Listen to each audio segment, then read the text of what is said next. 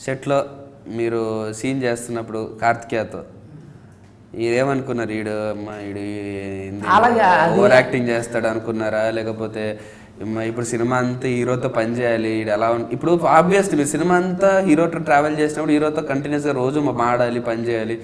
అది ఎలా ఉంటాడో ఏందో అసలు ఆర్ఎక్స్ హండ్రెడ్ అంటే అదేదో అవన్నీ అనుకున్నాను నేను. అవన్నీ అనుకుని వచ్చి ముందు షూటింగ్ స్టార్ట్ అయ్యే ముందే క్యారవన్ కొట్టి వాళ్ళ పర్సనల్ని అడిగి ఆయన ఫ్రీగా ఉన్నారంటే ఇప్పుడు వచ్చారు. సార్ అంటే వెళ్ళి ఆయన కలిసా.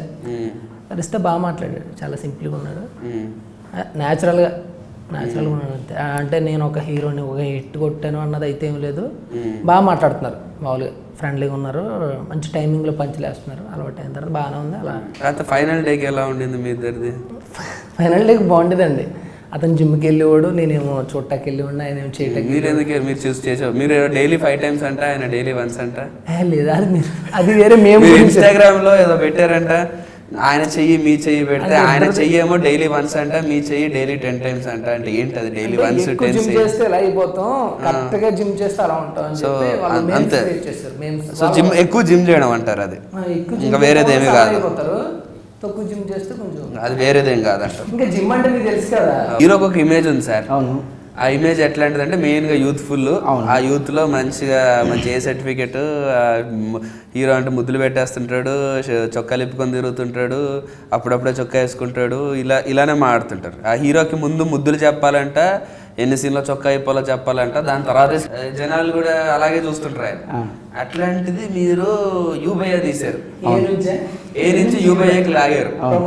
మరి మీరు ఈ భయం లేదా? మరి ఆయనకి ఉన్న ఇమేజ్ ఏమో అట్లుంది యూత్ వాళ్ళందరూ మంచి మేము మ్యాటర్ ఉంటుంది ఇలా సినిమా అంటే ఎక్స్పెక్ట్ చేస్తారు. మరి ఇవ్వకపోతే మరి ఓపెనింగ్ రాదేమో లేదేమో మరి మరి ఫ్యామ్ ఫ్యామిలీ హీరో కాదు కదా. అదే ఉంటుందండి అసలు ఉండదు ముద్దులు ముద్దుల కోసం సినిమాలు చూస్తారని నేను అనుకోనండి.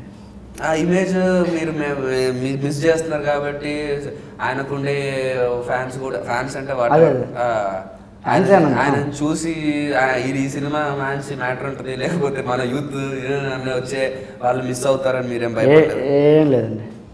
అసలు కాన్సెప్టే తప్పంటారా? అసలు కాన్సెప్టే రాంగ్ అండి నాకు. ఎందుకు భయపడలేదు మీరు యూ బయ్యే తీసుకురావడానికి? హండ్రెడ్ పర్సెంట్ యూబీఐ వచ్చింది కాబట్టి ఈ సినిమా మీద ఇంకా ఎక్కువ మంచి జరుగుతుంది ఈ సినిమాకి ఇప్పుడు.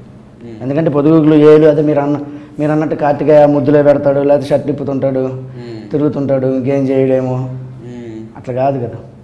కార్తికేయ అన్నీ చేయగలడు. కార్తికేయ ఏంటి అనేది ఈ సినిమా తెలుస్తుంది ఒకటి సరైన డైరెక్ట్ సరైన డైరెక్టర్ దొరికితే కార్తీక్ అన్ని చేయగలుగుతాడు అంటారు సూపర్ చేస్తారు. ఈ సినిమాతో ప్రూవ్ అవుద్ది అంటారు హండ్రెడ్ పర్సెంట్. సో ఇప్పుడు ఏ ఇమేజ్ నుంచి యూ బై ఏ ఇమేజ్ వస్తుంది ఈ సినిమాలో? అంతే. ఈసారి ఇప్పటి వరకు కార్తికేయకి ఒక యూత్ ఒక ఇమేజ్ ఉంది. ఈ సినిమా తర్వాత ఎలాంటి? ఇది మాత్రం చెప్పగలుగుతానండి.